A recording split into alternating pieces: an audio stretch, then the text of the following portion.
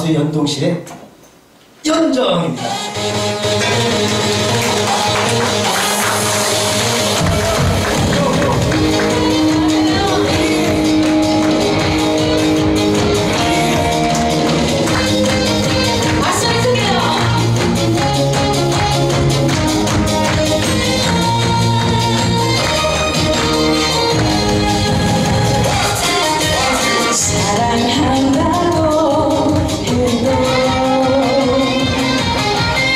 좋아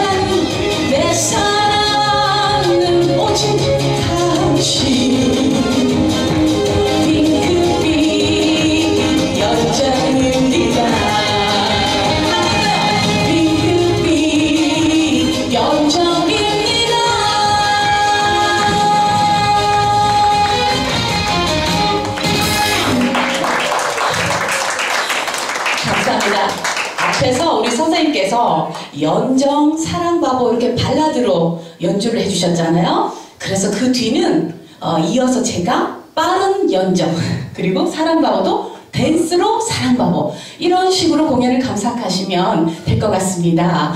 네, 우리 선생님께서 연정이란 곡으로 첫 날개를 달아주셨습니다. 네, 어, 뭐 세이캐스트 니마뮤직에서 1위도 했고 네, 연정을 참 많이 사랑해 주시는데 아무래도 이제 여러분들이 행사장에서는 이제 댄스곡도 많이 사랑해 주셨어요. 그래서 방금 들으신 곡이 연정 댄스 버전입니다. 이럴 때 박수 한번 주시고요.